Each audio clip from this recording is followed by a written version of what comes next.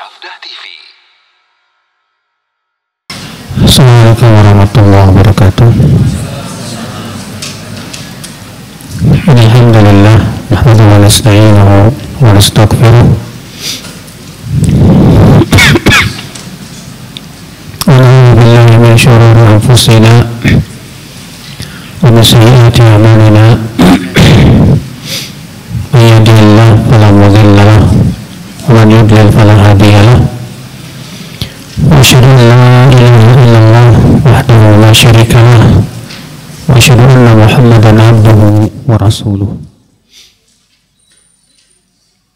Kita lanjutkan ibu-ibu sekalian.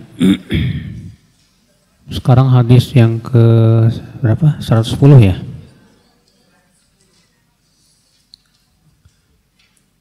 Hadis yang ke-110 An Abi Mas'ud عقبة بن عمر الأنصاري البدري رضي الله عنه قال لما نزلت آية الصدقة كنا نحامل على ظهورنا. فجاء رجل فتصدق بشيء كثير.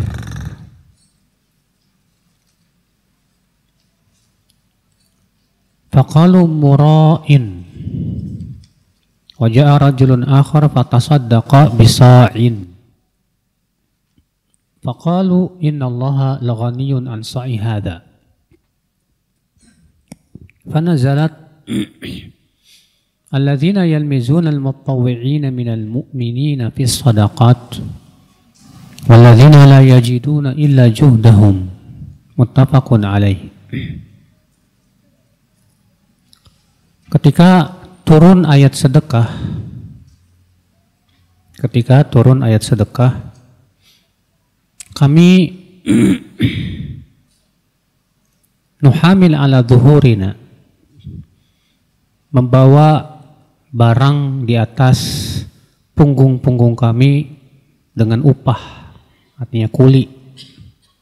Ya artinya para sahabat bu demi untuk bisa sedekah mereka bersedia menjadi kuli ya demi untuk bisa sedekah subhanallah Faja'a rajulun fatasaddaqa bisyai'in kathir. Lalu datanglah seorang laki-laki lalu ia bersedekah dengan harta yang banyak. Dengan sesuatu yang banyak. Maka mereka berkata, ini orang waria. Siapa yang yang mengatakan begitu? Itu orang munafik. Wajah rajulun akhar fatasaddaqa bisa'in. Lalu datang laki-laki yang lain. Dan ia sedekah hanya dengan satu sok saja. Satu sok itu empat mud. Satu mudnya sekitar 650 gram. Berarti kalau dihitung ya satu sok itu sekitar berapa? 2500 gram dua setengah kilo lah atau lebih ya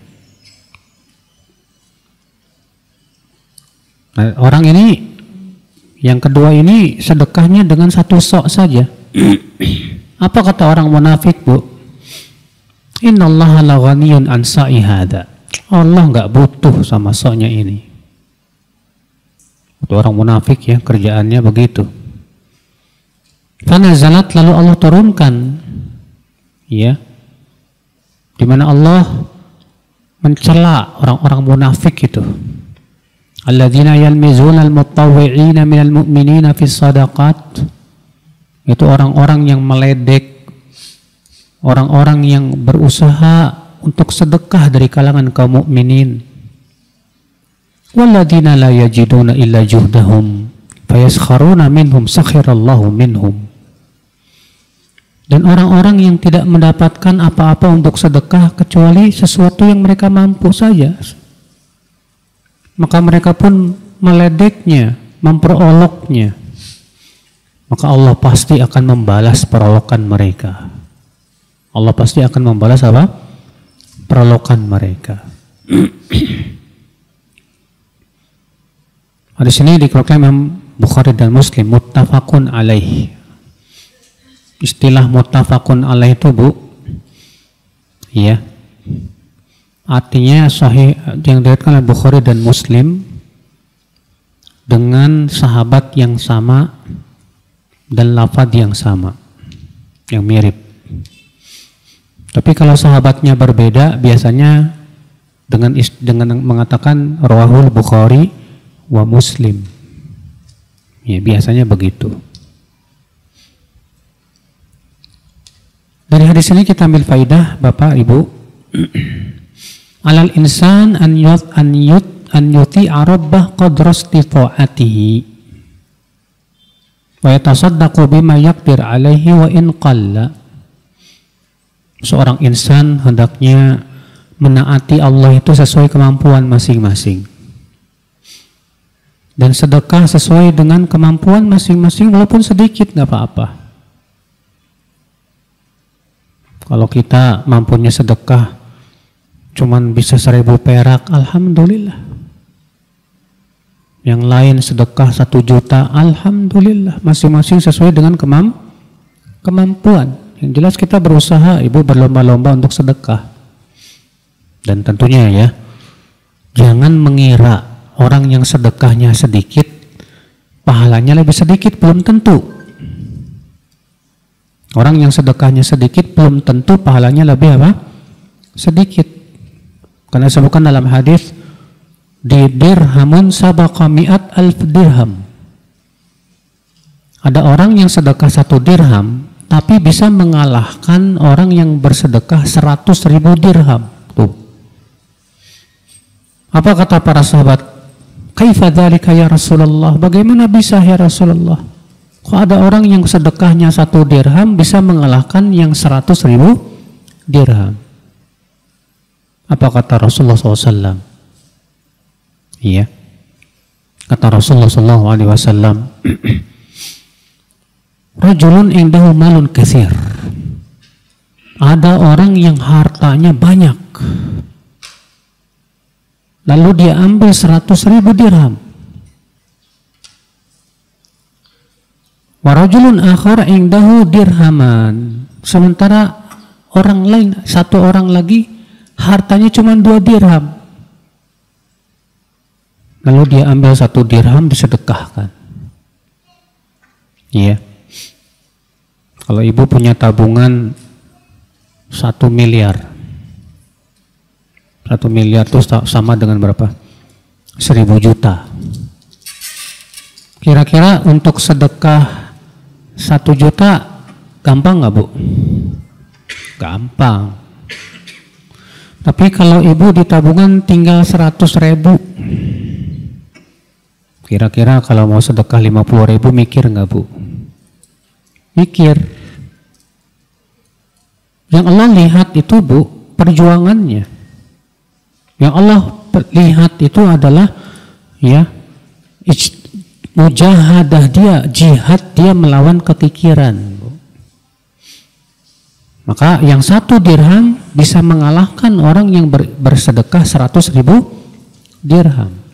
Makanya ya walaupun ibu apa namanya pendapat, pendapatannya pas-pasan, tapi berusaha mau sedekah ah, walaupun cuma sedikit, tapi penuh dengan perjuangan, itu bisa jadi lebih besar pahalanya bu dari orang kaya yang duit-duitnya seabrek-abrek. Karena bagi mereka ya duitnya banyak, ya buat sedekah gampang lah. Ya nggak ada beban apa-apa. Iya. Faedah yang kedua yang bagi anal muslim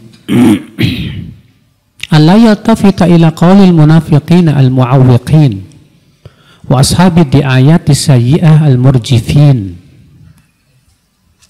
Seorang muslim jangan menengok kepada cemoohan orang-orang yang munafik bu. Cemoohan orang-orang yang suka menghalang-halangi suka ngegembosi. Cemoohan orang-orang yang berusaha untuk menghalang-halangi manusia dari kebenaran. Gak usah jalan aja terus selama kita di atas kebenaran selama kita di atas kebenaran ya Gak usah kita nengok apa kata orang. Ibu-ibu sekalian ya. Ada seorang ulama memberikan perumpamaan begini. Seekor kijang, Bu. Larinya kencang banget, Bu. Ketika ia dikejar oleh seekor serigala, serigala larinya nggak terlalu kencang. Dengan sangat mudah, si kijang bisa meninggalkan serigala jauh. Tapi apa yang menyebabkan serigala terkadang bisa berhasil menerkam si kijang? Rupanya si kijang menengok ke belakang. Ketika melihat melihat ke belakang, istilahnya apa bu? Ya, ketakutan. Sehingga menyebabkan kekuatannya pun menjadi apa? Hilang. Saat itulah si serigala berhasil dia untuk menangkapnya. Seperti halnya juga kita.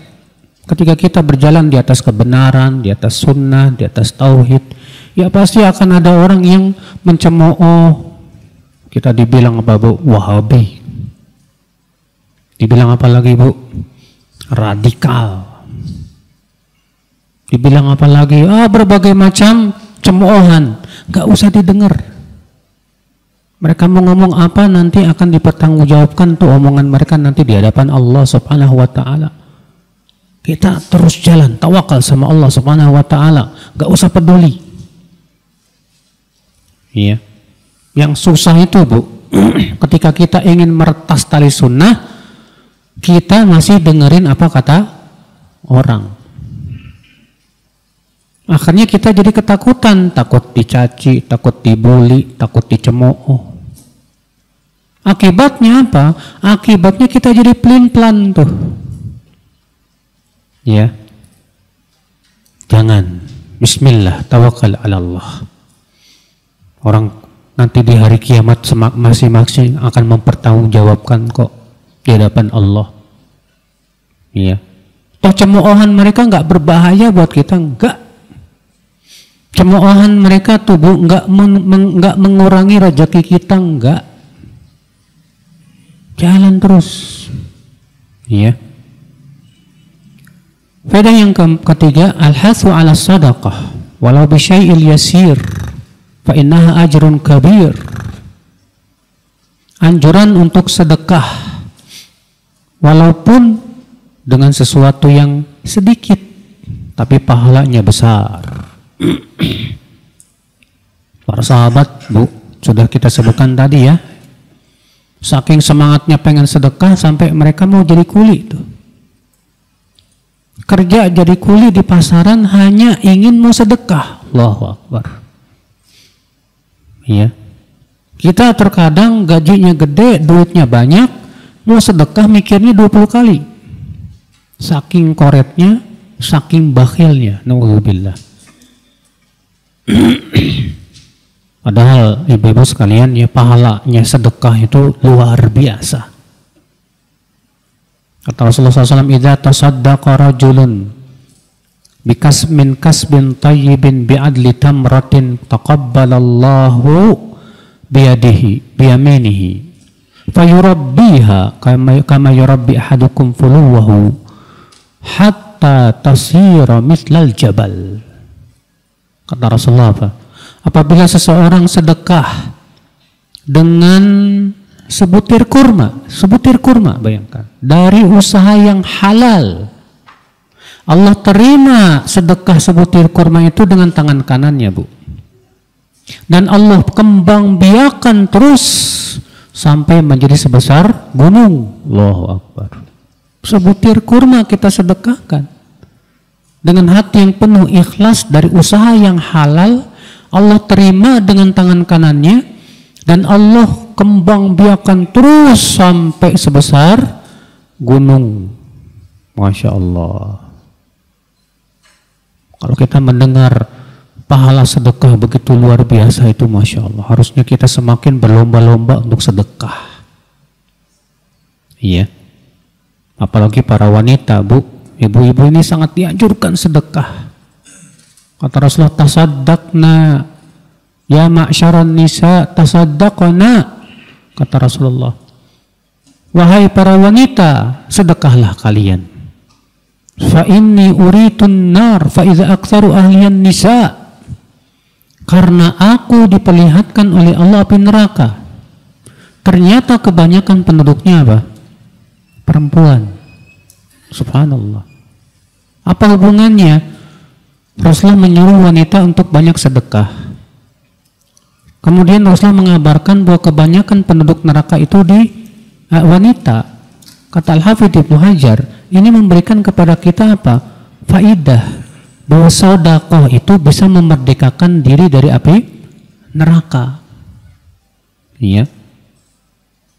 Makanya sebutkan dalam hadis as-sadaqatu tutfi'ul khati'ah kama yutfi'ul ma'un nar. Sedekah itu bisa memadamkan dosa seperti air memadamkan apa? Api, masya Allah. Ya, maka kita berusahalah ibu-ibu, bapak-bapak sekalian semangat dalam sedekah. Sedikit, sedikit nggak masalah, asal ikhlas dan dari usaha yang halal Allah terima dan Allah akan kembang biakan menjadi sebesar gunung. Iya. Faedah yang selanjutnya Ada muhtiqaril ma'ruf wa in kana qalilan. Jangan pernah menganggap remeh kebaikan walaupun sedikit. Jangan pernah menganggap remeh kebaikan walaupun apa? Sedikit. Bisa jadi, Ibu, kebaikan yang sedikit itu itulah sebab kita masuk surga. Dan bisa jadi dosa yang dianggap kecil itulah itulah sebab kita masuk neraka. Ketika Isra dan Mi'raj ya, Rasulullah Shallallahu Alaihi Wasallam melihat seorang laki-laki yang mondar-mandir di surga. Kata Rasulullah, "Ra'aitu hina usriya bi rajulan yataqallabu fil jannah." ya. Aku ketika Isra Mi'raj itu melihat seorang laki-laki mondar-mandir di surga. Gara-gara apa? Gara-gara dahan pohon, cabang pohon yang dia awaskan dari apa? Jalan. Gara-gara itu dia masuk surga. Allahu Akbar. Padahal itu kan amalan yang sepele gitu loh. Amalan yang sepele. Tapi gara-gara itu dia masuk surga, bayangkan. Rasulullah mengabarkan tentang seorang wanita pelacur ya, dia kehausan dapat sumur akhirnya dia masuk ke dalam sumur dia minum ketika keluar dia dapetin anjing lagi kehausan sekali lalu si pelacur ini berkata ini anjing pasti kehausan seperti saya turun lagi dia ke sumur kemudian dipenuhi ya sepatunya dengan air digigitnya pakai mulutnya naik dia ke atas Lalu kemudian diberikan minum itu anjing. Apa kata Rasulullah? Fasyakarallahu lah. Allah pun berterima kasih kepada dia. Wa Ya, wa Lalu Allah pun mengampuni dosanya. Gara-gara ngasih minum anjing masuk surga. Seorang pelacur. Jadi jangan menganggap remeh kebaikan sekecil apa pun. Kata Rasulullah SAW, La tahqiranna minal ma'rufi syai'an, walau an talqa akhaka wa wajhuka ilaihi mumbasitun. Jangan pernah kamu menganggap remeh kebaikan sekecil apa pun, walaupun dengan cara kamu bertemu dengan saudaramu dalam keadaan wajahmu berseri-seri. Tuh lihat. Cuma senyum di depan teman kan remeh Pak ya. Tapi kata Rasulullah jangan dianggap remeh kebaikan sekecil apa pun. Karena bisa jadi tadi ya, kebaikan yang kecil itu sebab kita masuk apa? Surga. Rahmat Allah luas. Sebaliknya jangan pernah menganggap remeh dosa sekecil apa pun. Karena bisa jadi gara-gara dosa itu kita mati suul khatimah. Kita mati ya dalam keadaan buruk lalu masuk api neraka naudzubillah nasallallahu wal afiyah sebagaimana Rasulullah sabda innal abda la yatakallam bi kalimatin min sakhatillah la yulqi biha balan yahwi bihi fi nari jahannam sab'ina kharifan. Allah eh, seorang hamba mengucapkan kata-kata yang dimurkai oleh Allah, dia anggap remeh. Gara-gara kata-kata itu Allah masukkan ia ke dalam neraka jahanam ya selama 70 musim. Ngeri. Jadi kalau kebaikan jangan diremehkan dan keburukan pun jangan apa? diremehkan. Tapi Pak, Bu, ada tapinya.